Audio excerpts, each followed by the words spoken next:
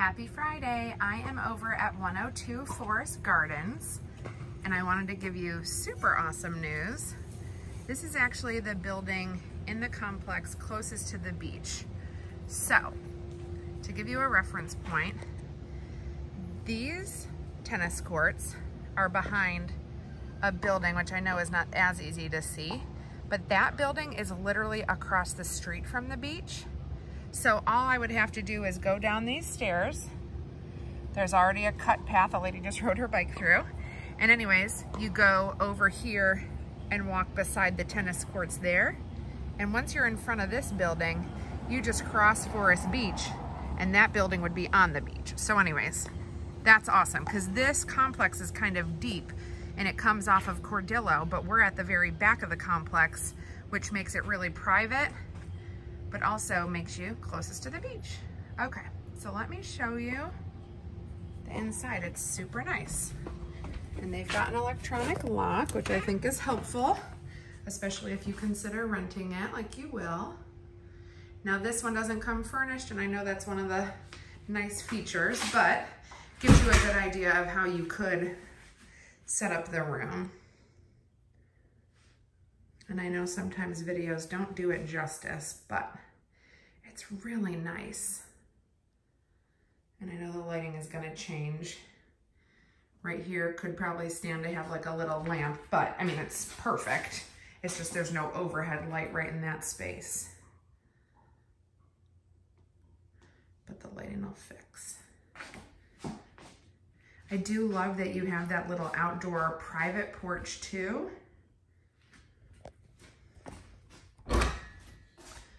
And a coat closet.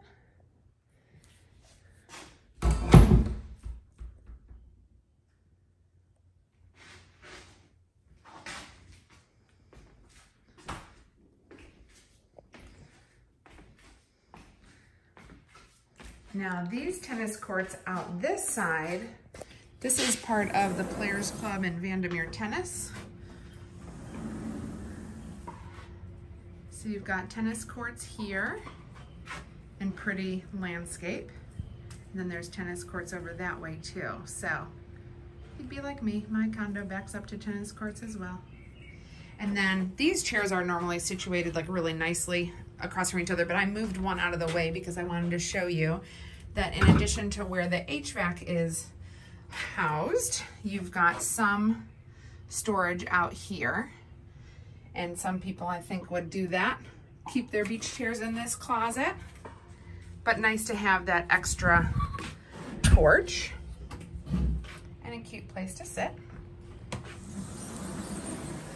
So back inside, now you can see the kitchen from this angle.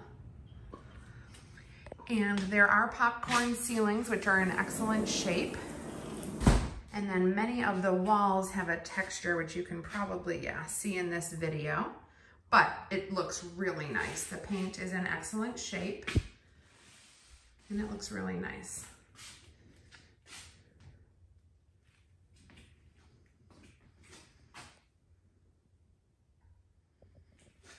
Cool flooring. Really pretty kitchen. You've got a little bit of a mini size stove oven, but probably works when you're here for a short visit or you're like me and don't cook much. But really nice, excellent, excellent shape. And we know you want to have the washer dryer in the unit, so that's nice.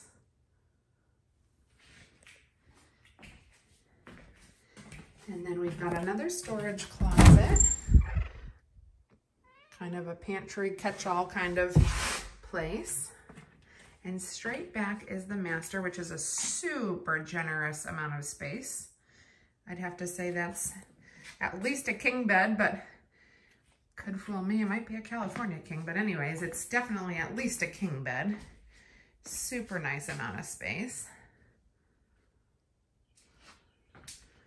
Just to give you a reference, there's still plenty of space to walk here between the dresser and the king bed.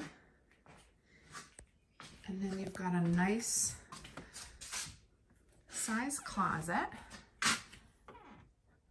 Little attic access probably for the interior HVAC ductwork and things like that.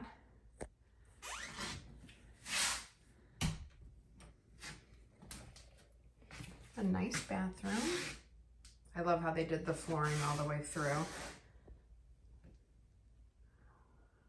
And now these walls in the bathroom are smooth. And really everything is in such nice shape. And You've got the tub shower combo.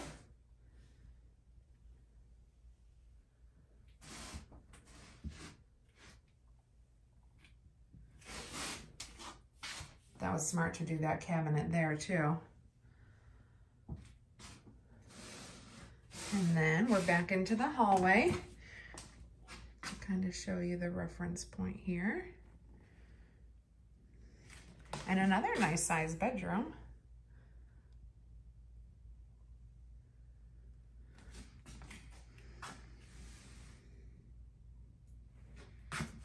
And they've got like a little printer set up here, but really nice. And another nice size closet, honestly.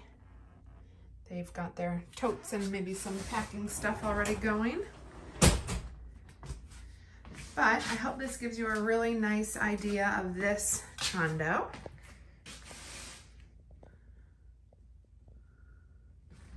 And I look forward to hearing both of your thoughts.